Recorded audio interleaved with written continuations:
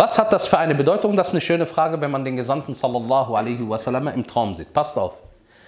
Das muss nicht immer bedeuten, dass du ein guter Mensch bist. Khalas, mafhum? Das muss nicht immer bedeuten, dass du ein guter Mensch bist. Denn der Prophet sallallahu alaihi wasallam könnte auch kommen als, als Warner. Wenn du sehr viel Übles in deinem Leben machst. Aber er könnte auch als frohe Bote kommen.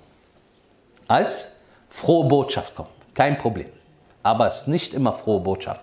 Wallahu ta'ala ala Möge Allah es uns ermöglichen.